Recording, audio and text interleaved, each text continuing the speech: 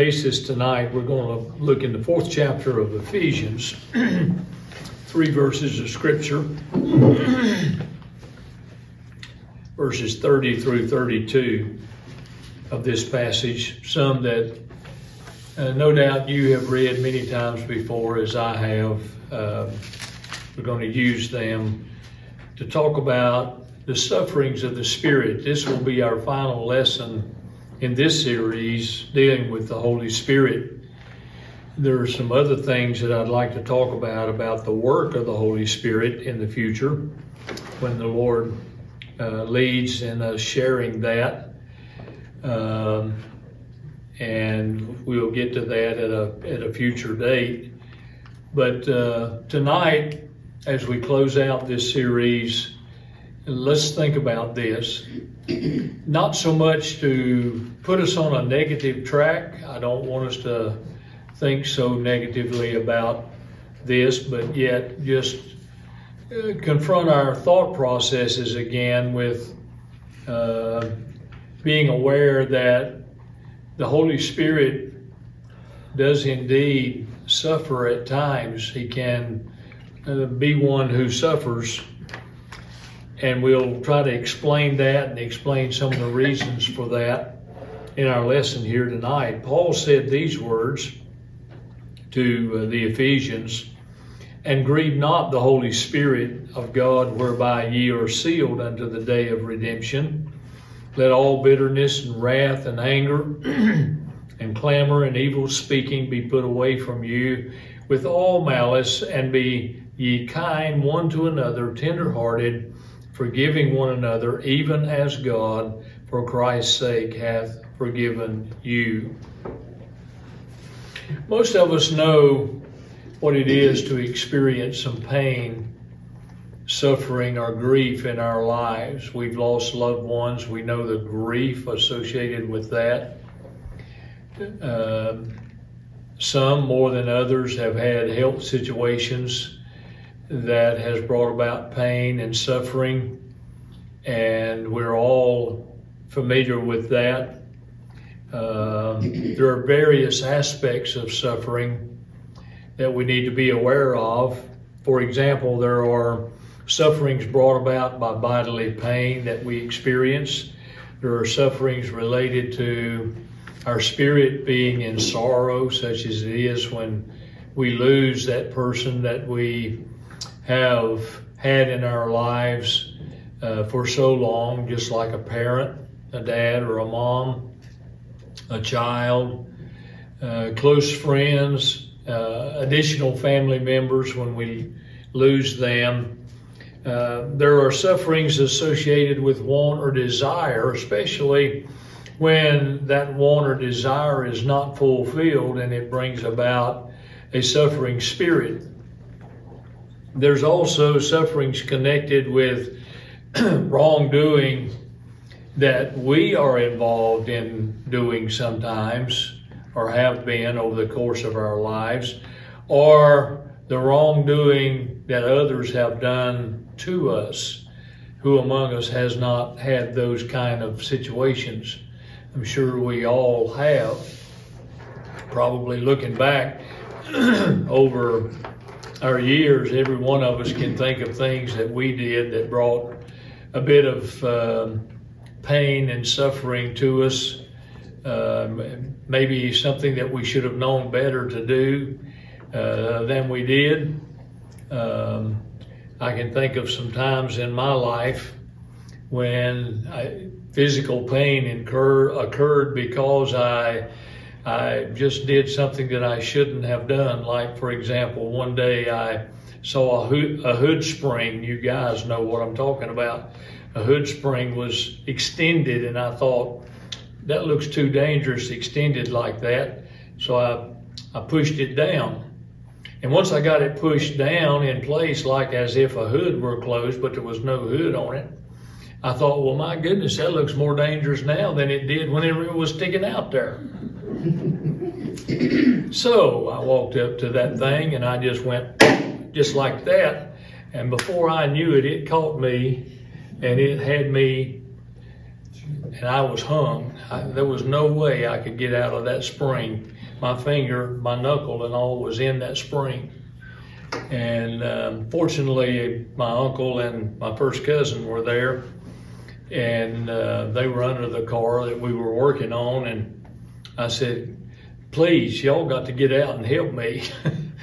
and so they did, and that wound up with a trip to the hospital and all that, you know. Uh, I, I know not to mess with a hood spring anymore, I promise you. If you ever have a hood spring problem, don't call the preacher because I, am not going to mess with that thing anymore. uh, we all know what it is, too, to have folks to do things that really bring pain and suffering in our lives. I'm sure probably every one of us has experienced that. I said all that to get to this point. we know now in our studying through the month of uh, September that the Holy Spirit is to be recognized as a person. He is the third person of the Trinity, the triune God, as you've heard me say already. As a person, does he experience suffering? I personally believe that he does. I believe he can. I believe he can experience suffering. Verse 30, in my way of thinking, gives a very clear suggestion that that can be true because Paul said there, and grieve not the Holy Spirit of God. So, just as you and I are grieved, he as a person must be grieved by certain things that uh, take place in the lives of the family of God, and it brings grief to Him. When we think of how He is often treated so wrongfully in our world today, our hearts really ought to be stirred. And that's what I hope to do tonight is stir us in our way of thinking, stir us in, in our heart and in our mind so that we will think more about how we should uh, try to exalt the Holy Spirit in our lives and uh, make Him proud of what we do and how we are living our life. After all, the Lord has given Him to us to be the one who guides us and sustains us each and every day, and He's not going to lead us into doing wrong things. If we go in the direction of doing wrong things, we will have made the choice to do that. And that, of course, will in turn bring sorrow to his heart. What kind of treatment does the Holy Spirit receive these days? Have you ever thought about it? How is the Holy Spirit really, really treated in this world? the more you think about it, and I've got, uh, I think, seven suggestions here tonight that I'm going to give you real quickly, and you can take them home with you and uh, study on them more, reflect on them a bit more. But uh, these are suggestions that come from uh, different portions of Scripture and so forth that I hope will speak to our hearts. First of all, I go over to Matthew chapter 12. and in Matthew 12, verse 31, Jesus said this if your Bible is like mine and you have the words of Jesus in red, then these words are in the color red because they are spoken by the Lord. And he said, Wherefore I say unto you, all manner of sin and blasphemy shall be forgiven unto men, but the blasphemy against the Holy Ghost shall not be forgiven unto men. Now, I'm not going to talk about the unpardonable sin here. I've already taught a lesson on that uh, sometime in the past, and hopefully you remember that. But that's in view here in this passage. But watch this as we get on into verse 32. And whosoever speaketh the word against the Son of Man, it shall be forgiven him. But whosoever speaketh against the Holy Ghost, it shall not be forgiven him, neither in this world, neither in the world to come. So people can blaspheme the Holy Spirit and speak against the Holy Spirit.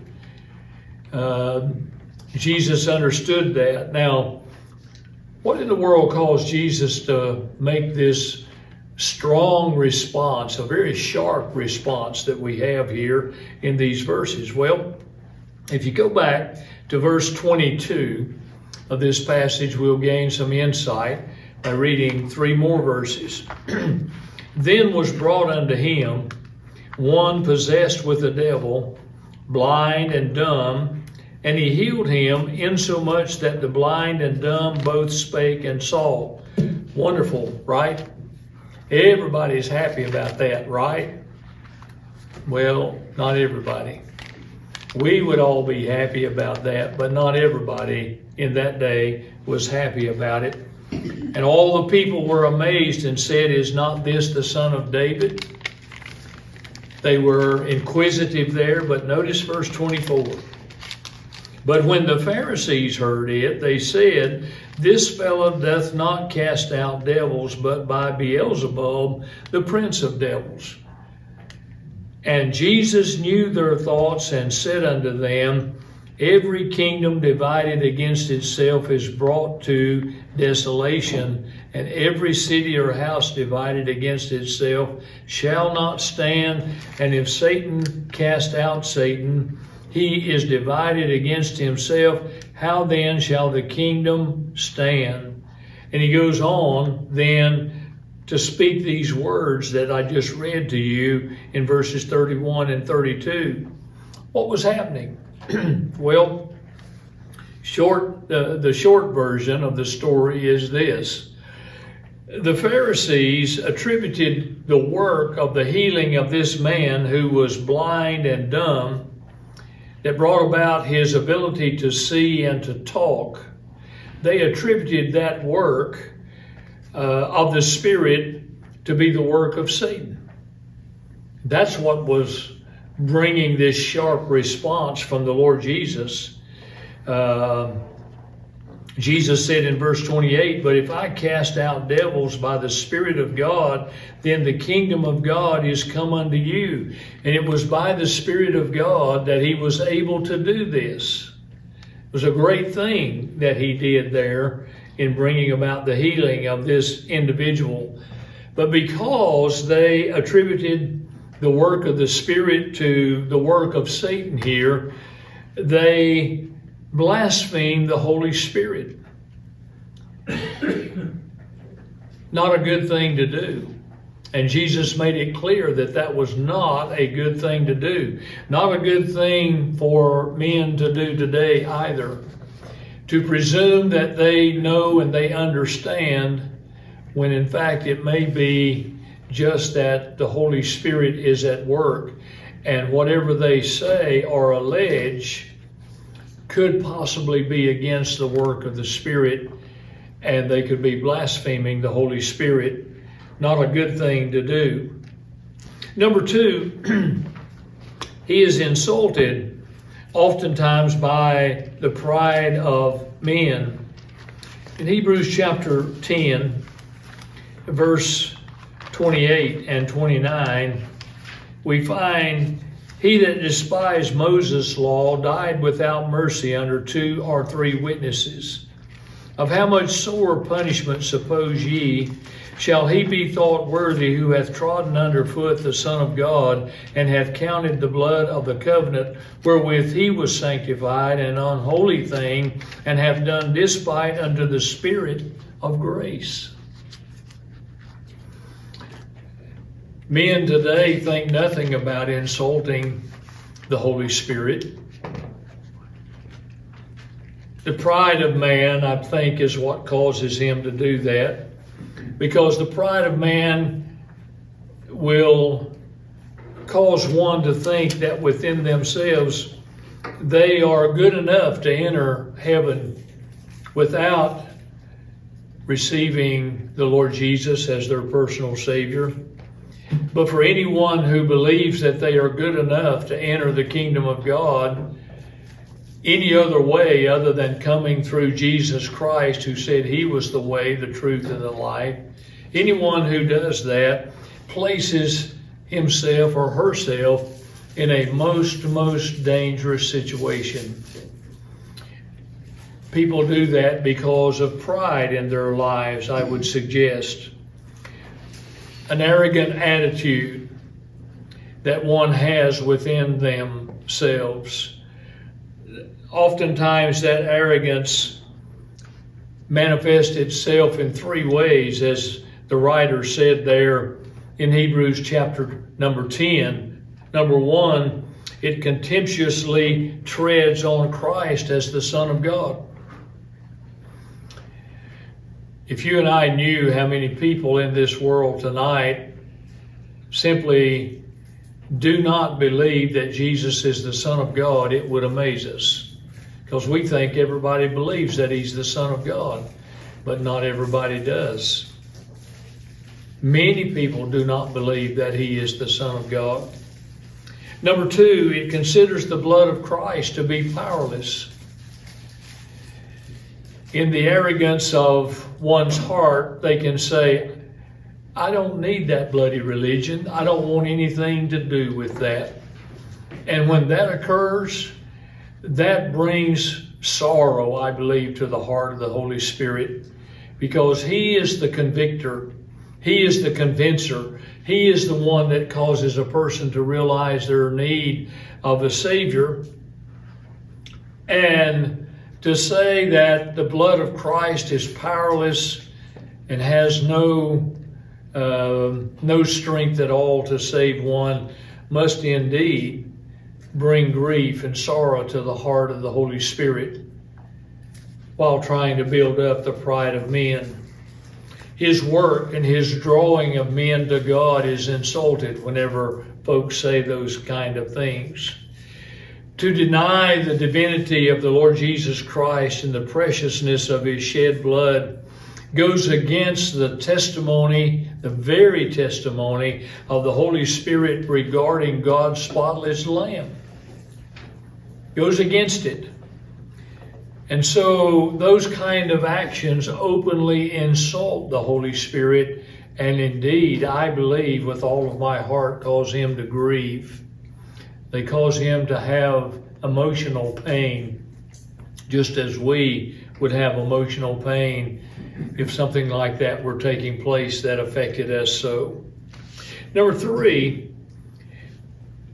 he is vexed by the disobedience of men. Isaiah chapter 63, verses 7 through 10 give us an understanding, and I'm just going to briefly tell you that Isaiah, in his day, many, many thousands of years ago now, hundreds of years ago, talked about redeemed people rebelling against God and vexing or grieving the sweet Spirit of God.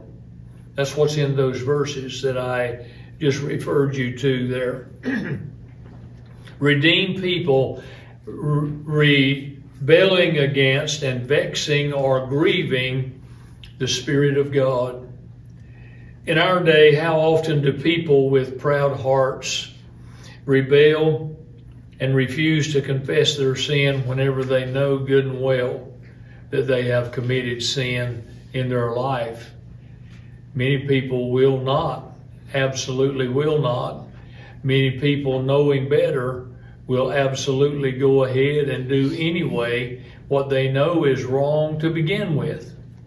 That, I believe, brings sorrow to the heart of the Holy Spirit because he, as our comforter, is leading and guiding each of the people of God into knowing the way of truth and living in the way of truth.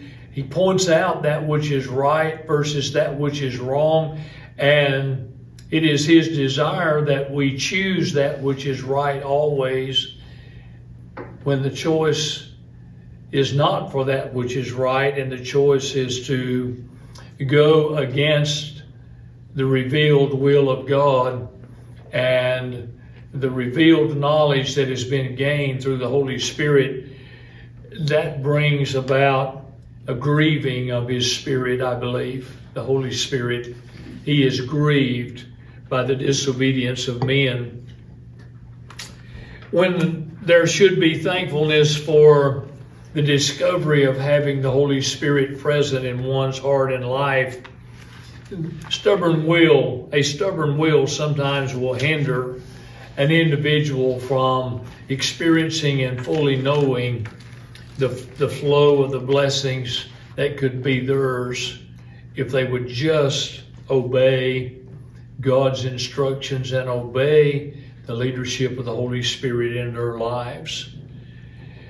Number four, he is resisted by the unbelief of men. Acts chapter 7. There is a powerful message there in Acts chapter 7 that was given by Stephen. And in the course of delivering that message, Stephen talked about Israel's unbelief, and he makes the point that she did not believe as she should have believed very, very clear. It should be easily understood by anyone who reads that passage. The writer of Hebrews added to that by saying that many in Israel, in my words, were not able to enter the promised land back in the day when they were uh, in the wilderness and they were headed to the promised land, but they were not able to enter. As a matter of fact, God struck them all dead there in the wilderness, didn't He? Raised up a new generation to take them from the age of 20 and below, he let them grow up and they went into the land of promise. Why did the others not get to go? One word unbelief. Unbelief. Don't you think that God's heart was really, really uh, affected by that? I do. I think it was. I think I think it really brought sorrow to the heart of the Lord and the heart of the Spirit. Um, I think so. Stephen addressed that in Acts chapter 7, and it brought about uh, an outpouring of rage upon him, so much so that they stoned him and he, they took his life from him. Yet he was faithful and he was true in declaring unto them what they need uh, needed to hear. But the Holy Spirit today, in great measure, is resisted by the unbelief of men and women in our world. So every person in this world needs to beware. Mankind everywhere, men and women, young people who have reached the age of accountability, they need to beware when the Word of God is doubted, then the Holy Spirit is being resisted. Because the Holy Spirit is here to guide us into all truth and to help us understand all truth. Unbelief is an expression of resistance to the voice of the Holy Spirit who speaks to make the Word known to all men. Reveal it, open it to us. I couldn't understand it if it were not for the leadership of the Holy Spirit, neither could you. It would be like a closed book if it were not for the presence and power of the Holy Spirit.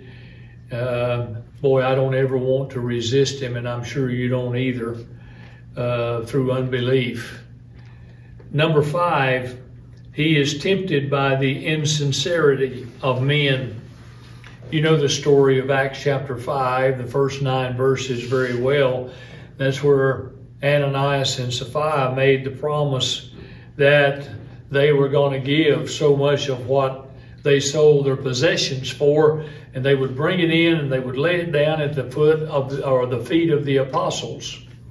But what we read about there is that first Ananias came in and he didn't bring all that he was supposed to have brought and God struck him dead right there before Peter. a little bit later, Sapphira comes in, his wife, and Peter says, Did you sell the property for such and such? Yes, we did. Well, then why have you lied to God? Why are you not bringing to God what you told God you would bring to Him? That kind of action grieves the Holy Spirit. I believe he was grieved then with the actions of Ananias and Sapphira. You see, They wanted the blessing of the Holy Spirit, but they didn't want to be completely obedient to the pledge that they had made before their brethren. And therefore, they paid the price. In seeking to deceive their brethren, they tempted and lied against the Holy Spirit. And Peter put it very, very bluntly to Sapphira. He didn't mince any words. In verse 9, he said, How is it that ye have agreed together to tempt the Spirit of the Lord? You and Ananias, you agreed together, and this has brought about a tempting of the Spirit of the Lord.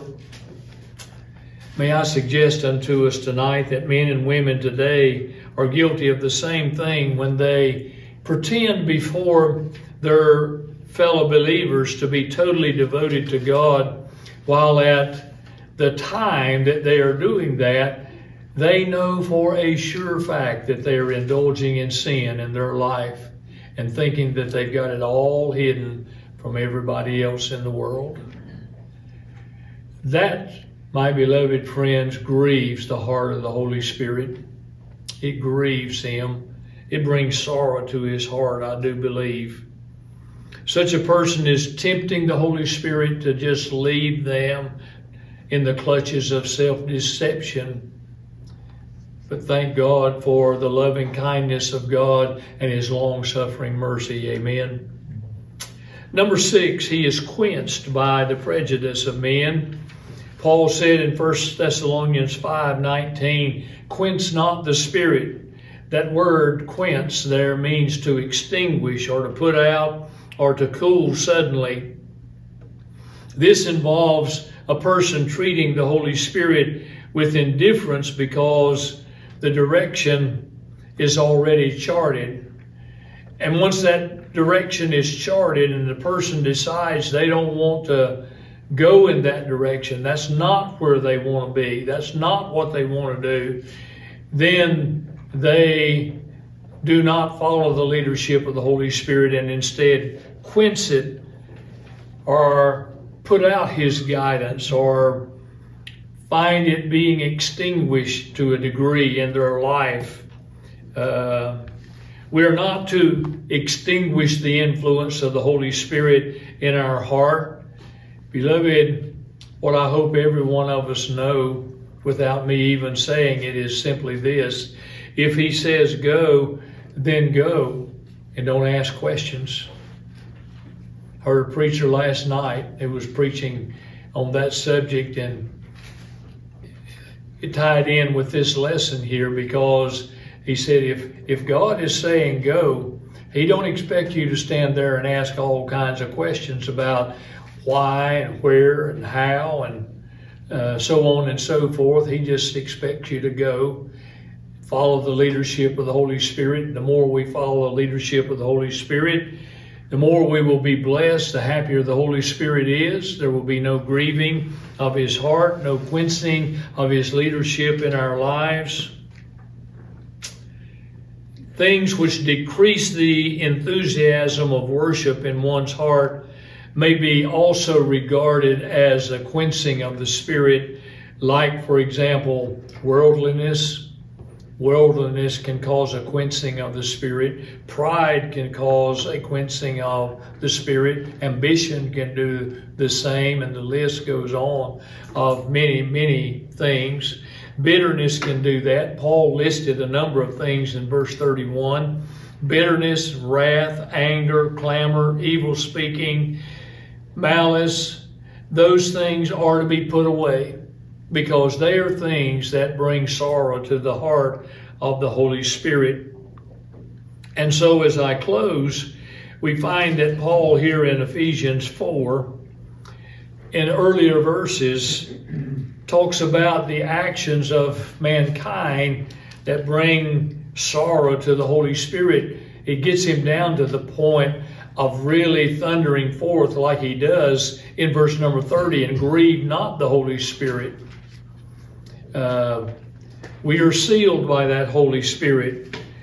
In verses 17 through 30 of this passage, Paul talks about how a believer is to walk in their new life in the Lord Jesus Christ. And as we grow in that walk, then we should be more determined to do the things that he says here. And he mentions a number of things that ought not to be a part of the life of a, of a believer as they grow in the Lord and walk in the sunshine of the love of God under the leadership of the Holy Spirit. Things that they are taught by the Holy Spirit and taught through the Word of God. For example, we're to put on the new man. We're not to uh, uh, walk as the Gentiles walked in the vanity of their mind, Paul says, having the understanding darkened, being alienated from the life of God through the ignorance that is in them because of the blindness of their heart. When we have been made alive in Christ and we are shown the way that is right, we are to walk in that way. We're to find ourselves, as he said in verse 26, just to, to, pick out a, one or two things that he says here. Be ye angry and sin not. Let not the sun go down upon your wrath. Don't give place to the devil. Put away all lying, evil speaking, and things like that. No wonder he gets to the point of saying right here what he does. Grieve not the Holy Spirit. These things will grieve the heart of the Holy Spirit. They will bring sorrow to him. Failure to walk as one should causes the Holy Spirit to be grieved and brought to sorrow. I truly believe that. Paul explained the way for a believer to walk, and then he cautioned, and I close with that caution again, and grieve not the Holy Spirit of God, whereby ye are sealed unto the day of redemption. Father, thank you for our time together tonight. I know I've covered this really, really fast, really rapidly, but I pray that we've said enough that the Holy Spirit will be able to take it and use it in each of our hearts and lives. And I pray, Father, that we will walk steadfastly in the way that is right and true, doing the things that please and honor you and that make you smile as well as uh, warm the heart of the Holy Spirit who is guiding us each and every day. I'm so thankful for the presence of the Holy Spirit in my heart and life, Lord. I'm thankful that you sent him to take up his abode in our hearts whenever we receive you as our personal Savior. And I'm so thankful that he guides and directs in our lives and he goes before us I'm so thankful, Lord, for that leadership. Guide us ever onward and upward as we continue to yield to you, we pray. In the wonderful, precious name of Jesus, amen.